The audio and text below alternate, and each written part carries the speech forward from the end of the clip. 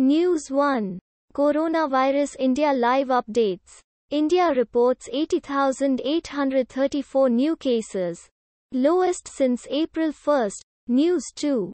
India sees lowest daily rise since April 2 with 80,834 fresh COVID cases. News 3. With AC. Fridge. Singhu farmers dig in heels for Delhi summer. News 4. GST Council meeting. Amit Mitra's video connectivity was poor, says Anurag Thakur on his voice muzzled accusation. News 5. Digvijay Singh sets off storm with Article 370 remarks. News 6.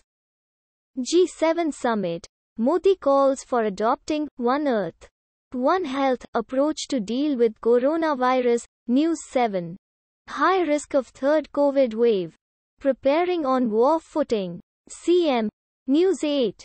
Maharashtra sees 10,697 COVID cases. 360 deaths in 24 hours. Mumbai logs 733 infections. News 9. Baba Ka Dhaba owner apologizes to YouTuber Gaurav Wasan. Says he never called Gaurav thief. News 10.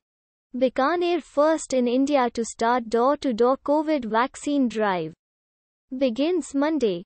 Automatically generated.